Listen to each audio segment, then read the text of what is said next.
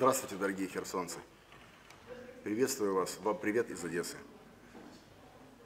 Я э, с удовольствием хотел бы поговорить и вспомнить прекрасного музыканта, замечательного человека, музыканта, исполнителя, импровизатора Дениса Феофентова, с которым я, к сожалению, лично не был знаком, но знаком с его прекрасной матерью, с Ириной, и участвовал, имел честь участвовать в фестивале памяти Дениса Феофентова, исполняя его прекрасные темы и импровизируя на них.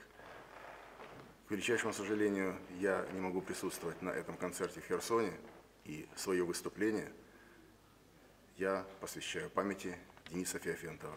Светлая ему память. Вам всего доброго, дорогие друзья.